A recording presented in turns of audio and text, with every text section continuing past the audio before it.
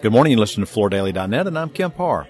I'm at the NWFA show in St. Louis, Missouri, and I'm with Dan Natkin, who's the Senior Director of Residential Products with Mannington Mills. Dan, how you doing? I'm doing great, Kemp. How are you?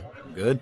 You've got some big news that I want to talk about in just a minute around your prevailing in a legal contest around copyrights. We'll get to that in just a minute.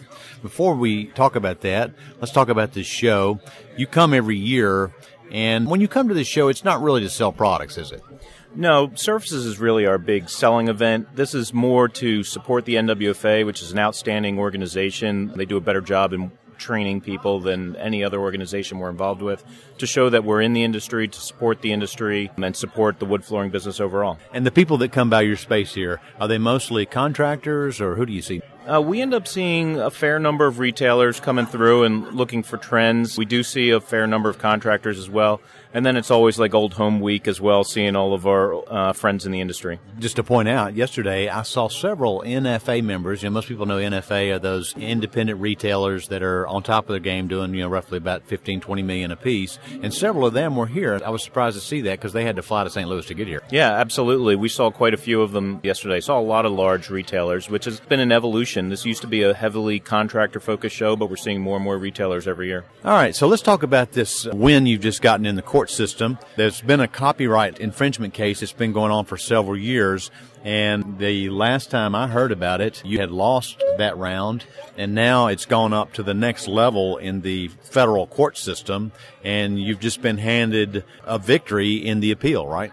Yeah, that's correct. We disagreed with the lower court's ruling. We've maintained all along that this copyright was valid. We appealed to the 11th Circuit Court. The 11th Circuit Court sided with us. They said, yes, this is an original work and that our copyright is fully valid. And they've now remanded it to the lower court and they have to respect our copyright. Now, this judge in Georgia that ruled against you Harold Murphy. He's approaching 90 years old and has very thick glasses. He was appointed to the bench by Jimmy Carter. He's kind of a colorful district court guy, and I thought it was interesting when he was ruling against you. What he said from his bench was that you could not copyright nature, and that's not what you were trying to do, was it? No. In this particular case, we took raw white maple boards and we hand scraped them and hand stained them and did all kinds of special distressing effects to create what became the final design that we called time crafted maple. We were not trying to copyright nature. We weren't taking this raw board. We were doing all of these artistic things to make it unique. And that's what we've argued all along is that we weren't copying nature. The opposition was arguing the opposite, and ultimately we prevailed in the higher level courts.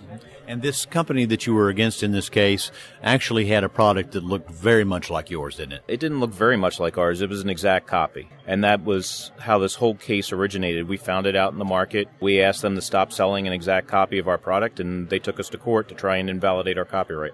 All right, so some people would wonder, I know there's been a lot of money spent in this case. When you do this and you've got, you know, one product, is it worth it to fight a major federal case for one product? I talked to you about this yesterday and it's really a precedent setting situation and this is why you've taken it this far right? Everything we do is around original design. That is one of our core competencies. It's it's really what makes mannington different. So this isn't about one design. It's about our ability to protect our designs across category and keep people from infringing our copyright. And in this day when we have global sourcing and we have digital imaging, it's very easy for somebody to knock off somebody else's look. All you have to do is scan it, right?